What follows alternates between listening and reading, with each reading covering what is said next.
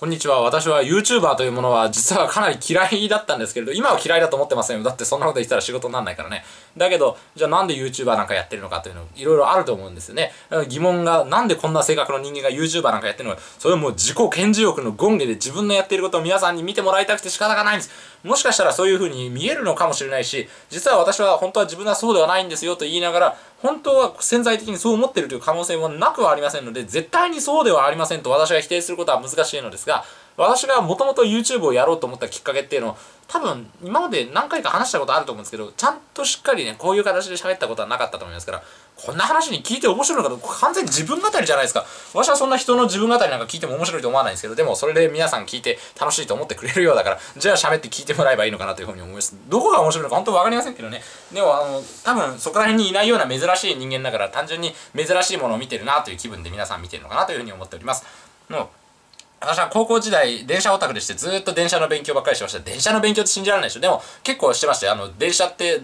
オタク知識だけじゃなくてちゃんと例えばこの鉄道がこういうとこ経済的にはどうこうとかこの辺の地理はこうなっていてこことここが結びついてどうこうとか観光地のここはこういうところがあって昔はこういうこういう歴史がありました。この観光地の地形はこうで地質的にはこうみたいな。まあ多少ねあのもっと詳しい人はいっぱいいるんですけど私も高校生にしてはよく勉強していたなというふうに思います。でいろいろ鉄道を中心にして様々な多方面へこう知識を広げながら勉強しておりました。でえー、大学に、まあ、本当は就職するつもりだったんですよ。もう就職もうこれからしちゃうから大学で勉強できないから大学生のやるような勉強を高校生のうちにやっとこうと思っていろいろやってたんですけど結局でも就職しないことになりましてじゃあ大学に行くことになったの。で受験勉強を一生懸命せっせこうやっておりましたけど推薦入試というのもあるらしいと別に誰でも受けられるというんですね、えー、公募制推薦っていうのかな。じゃあまあ誰でも受けられるっつうなら別に受けちゃいけないなんて法律はないんだけど受けりゃいいやと思って。で受けに行ってすいませんけどあの横国の横国大に私入れてくれませんかね。みたいなこと言いに行ったらばそしたらあまあいいよいいよって言ってこう入れてくれたんですね。あら入れてくれたよ。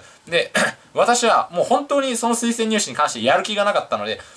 でもよく考えたらこんな練習もしてない受かるわけないよなと思って適当に受けたっていう話はこれはしてると思います。で、面接もそれから論文もかなり適当にやりました。本当に手を抜いてやったんですよ。でもまあいいやみたいな感じでね、あの、まあどうせ同じ2時間だから、まあとりあえずやっとくからちょっと頭疲れた休憩とかそんなんでやってて論文も半分しか埋めなかったとか言ったと思いますけど、で、それでも、うん、推薦であとは、あの、まあその書いた内容とか喋った内容っていうのは私が高校時代に勉強した鉄道のことですね。で、それ喋ったら受かったんですよ。ああ、受かってしまったなと思って。おかしいぞと思ったんだけど、でも、まあ、間違いですよとかよく謙遜して言うこともありますが、まあ、実際のところ間違いで受かるというのはありえないと思うので、多分私が本当に何か良かったから、秀でていたから合格させてくれたんでしょう。で、じゃあ、どこが良かったのかなって、まあ、やっぱその内容が良かったと思うしかないわけですね。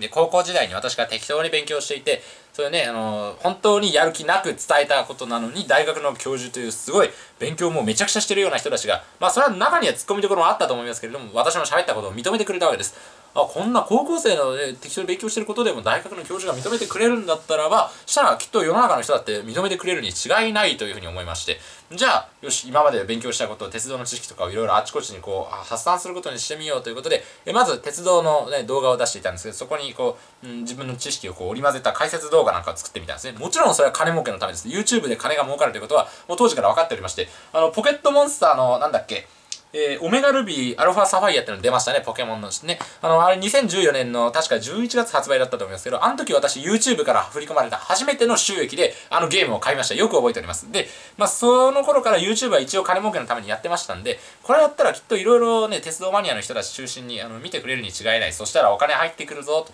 案の定入ってきたんです。それが一番のきっかけです。で、えそれでずっとじゃあその鉄道の知識を中心に鉄道の動画を出し続けていたんですが、ただ、やっぱ鉄道の動画だけずっと出しているとちょっとあの鉄道の動画だけっていうかなんですかずっとねパソコンで動画を作るっていうのは大変なわけですよね。え動画画像をこう入れたりとかあの読み上げソフトに文字を入力して字幕もつけめちゃくちゃ大変なんですよ。こんなのやってられるかと思って。じゃあよしそしたら次に何をするかなこう考えたところ、まあ、やはり本人が出るのがちょうどいいだろうと。本人まあそのさまざまな事情でね鉄道マニアの方は理解してると思うんですけど動画をもっとハイペースで更新しなければならないということになりましたのでやっぱりまあ本人が出てペラペラ口で喋るというのが一番効率がいいはずだと。ね大量の情報を伝えられるようになりますから思いましたんでだからじゃあよし分かった。今度はもう本人が登場するようにしようと。で私がそこへ出てくるというのは、あの、私ももう高校とか中学の時代からある程度私の信者みたいなものがつきやすい性格をしているというのは分かっておりましたんで、まあ、はっきり言って、ある程度ね、まあ、ここまで正直うまくいくとは思ってなかったですが、ある程度うまくいくということは、まあ、分かっていたわけですね。で、私の信者みたいな、現実に多分、今、あの、この動画をご覧になってる人でね、本当に私のことを神だと思ってる人は、スーツは神だというコメントをこう入れといてください。そうするとコメント欄を見たら、スーツは神っていうコメントが本当にいっぱい並んでるんじゃないかなと思うんですけど、並んでなかったらすみません。そういう風にね、崇拝されるんですよ、私は性格として。これはあの、自分のことを、お、すごいでしょって言ってるというよりも、単純に事実として、本当に高校時代だったいろんな人に私は崇拝されてきましたから、だからまあ、あの、アンチもいましたよ、その回いましたけどね。だから、まあ、そのアンチってのは別にいてもいなくても正直そんなお金には関係ないんだから、あの、崇拝してもらえるようなね、そんな性格を前面に押し出していった方が YouTube の動画は儲かるに違いないと思って、で、実際にやってるわけです。で、今、おかげさまで儲かってる。まあ、大体こんなところです。だから、全てのきっかけは何かというと、あの、高校時代に勉強をしていたということが私の YouTube 投稿のきっかけか、もしくはその勉強していたそのことを横浜国立大学の推薦入試で認めてくれたということが、その YouTube での成功の一番のきっかけかなと思います。だから、